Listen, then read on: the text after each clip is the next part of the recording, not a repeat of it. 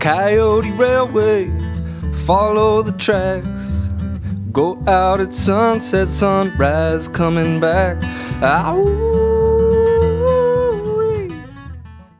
Hello, this is Joe Cottonwood, reading from my novel Danny Ain't. Chapter 1 The Choice of Life. Pop tells me when I was a baby, my mother gave me a test. She called it the choice of life. She laid me down on the floor and spread out in front of me a spoon, a deck of cards, a dollar bill, a book, a Bible, a ball. She said whatever I reached for first would be my choice of life. If I reached for the dollar, I'd grow up to be rich. If I reached for the cards, I'd be a gambler. The book, a teacher. The Bible, a preacher. The ball, an athlete. She was hoping I'd reach for the Bible. Pop says he was hoping I'd reach for the dollar, and maybe then for the cards. If you gave me the test today, I'd reach for the ball. But it's too late now. You only get one choice of life. What I reached for first was the spoon, which means I'll be hungry, poor, all my life. That is, if you believe in that stuff. I'm skinny as a blade of grass. I've got duct tape around my shoes. Where I live ain't even a house, but actually a trailer that used to be pulled behind a car. I was rich once. I won a $10,000 reward for catching a man who'd been setting fires all over town. That is, we split the reward three ways because three of us caught him together Boone, Babcock, and me. So we each were going to get $3,333 and some cents. I waited months for that money. I figured to buy a dirt bike, a skateboard, a chainsaw. Then Pop said I was too young to blow all that money and he was going to take care of it for me. He said I don't need a chainsaw. The next day, Pop was looking at a used Mustang, trying to haggle it down from 4100 to 3300 We never got the money. What happened was Boone's father arranged for some guy named S. Crow Count to hold the reward in a bank until me and Boone and Babcock are 18 years old. Then we're supposed to use it to pay for college.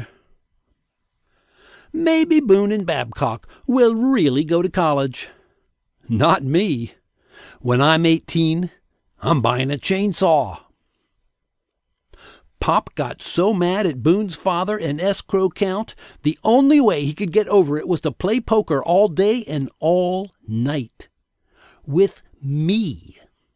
We each started at 10 in the morning with the same number of chips. Soon as Pop cleaned me out, he'd give me back my chips and start all over again. And again. Around four in the afternoon, I had a lucky streak and built up a nice pile. But Pop stood up and walked around his chair. Then Pop draws two wild deuces on a two card draw when I'm holding three kings, and he wipes me out with four tens. Then Pop tells me, Never, ever let somebody walk around his chair. Kick it away. Trip him. Because walking around your chair changes your luck. And that ain't a superstition. That's a fact. I saw how it worked for Pop. So I keep on losing. I figure he'll want to stop for supper. But we don't. Then I figure we'll stop after midnight. But we don't. The longer we play, the better I get. But he still beats me. It just takes him longer. 4:30 in the morning, Pop rakes another handful of chips to his side, throws down the cards, tilts back his chair and says, "There. I did it. You know how much money I want off you, Danny?"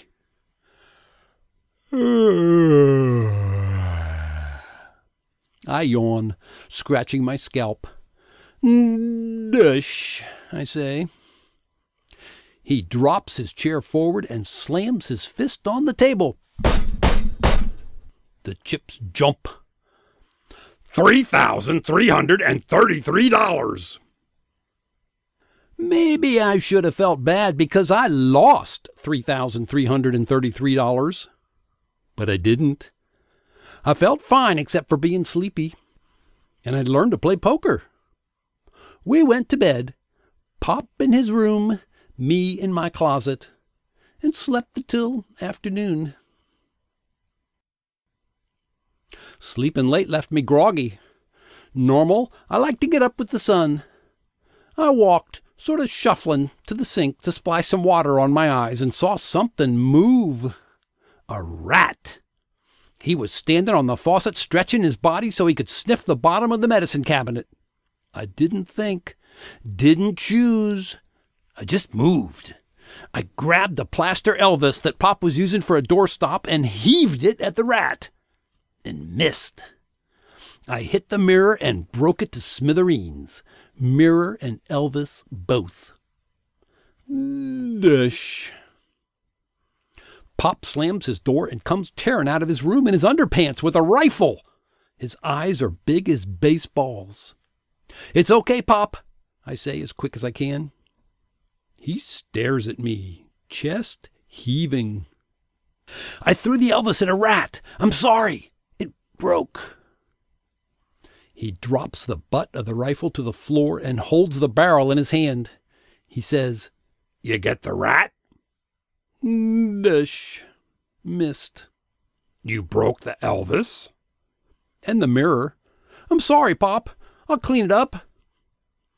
You broke the mirror? I told you, Pop's superstitious. Now he tells me I'll have seven years bad luck unless I don't touch it for seven hours and then save the pieces for a night when there's no moon and no stars, and then I have to bury it in a graveyard at midnight. I tell Pop I'd rather have the bad luck. Pop says, If you have bad luck living with me, I'll have bad luck too. I don't believe that stuff.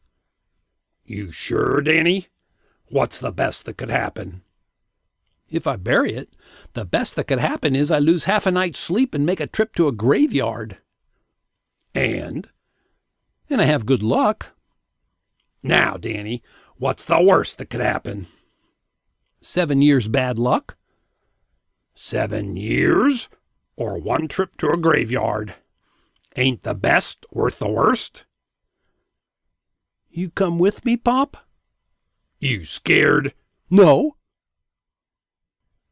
Probably be foggy. We could do it tonight.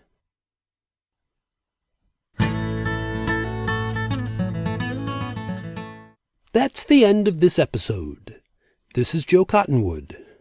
The music is by Will Fort. Coyote freight train, rabbits in a line. One day you're starving and the next day you're fine. Ow, yip, yip, yip, yip, yip, yip, yip, ow.